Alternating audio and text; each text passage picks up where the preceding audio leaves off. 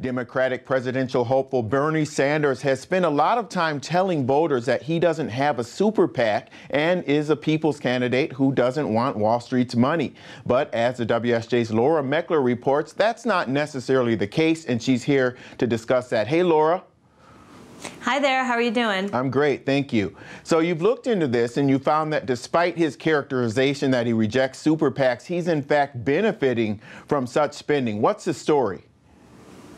Well, the story is that there is a big union, the um, nurses union, and they in fact do have a super PAC, and they are working very hard on Bernie Sanders' behalf. So far, they've spent about $1.5 million supporting his campaign. They have a big bus that they had all around Iowa with a big picture of Bernie Sanders on the side. So now he doesn't have any control over this. I mean, there's no, you know, super PACs are by law separate from campaigns. You're not allowed to coordinate, and, you know, they don't need his permission. You know, that said, though, he says in almost every single speech, I don't don't have a super PAC. I don't want a super PAC. But, you know, arguably he does. Uh, how does that compare to Hillary Clinton?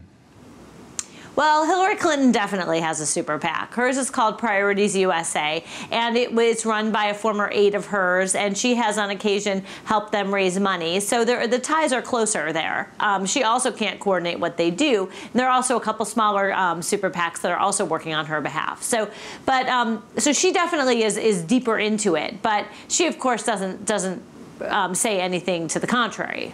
But what's fascinating is the influence of campaign donations seems to be like almost a, a, central theme in this Democratic battle. Why are these two candidates fighting over who's more progressive?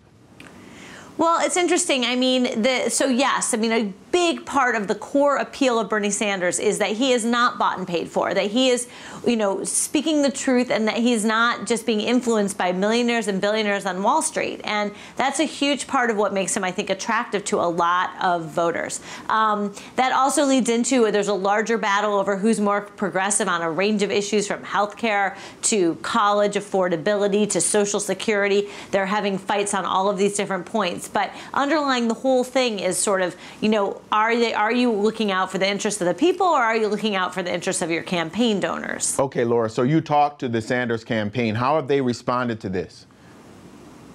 Well, you know, they respond that they have no control over this super PAC, and that you know that they, of course, they point out that it's not funded by millionaires and billionaires; it's funded by nurses. So, but you know, that's not really the only issue with Sanders. It's, it goes beyond just this one thing. Another thing that the Clinton campaign has actually drawn attention to is the fact that he benefited when he was running for the Senate from the um, contributions, money raised by the Democratic Senatorial Campaign Committee, which is um, gets a lot of money from Wall Street, and its whole purpose is to elect Democrats to the Senate, and they helped him in his campaign. So there are a lot of different ties there between um, him and indirectly the you know the Democratic establishment, which has long been supported by Wall Street money. Okay, so he's taken the money, but if he's taken the least money from Wall Street and super PACs of all the candidates, can this really hurt him? Isn't he still the candidate with the fewest ties to Wall Street?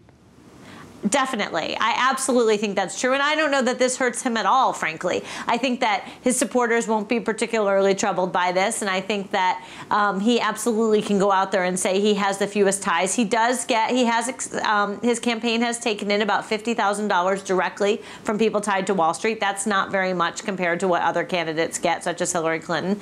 But I don't think that would necessarily bother, um, bother people who support him. He still has a very, very clear anti Wall Street message. Anti-big money message um, that is at the heart of his campaign.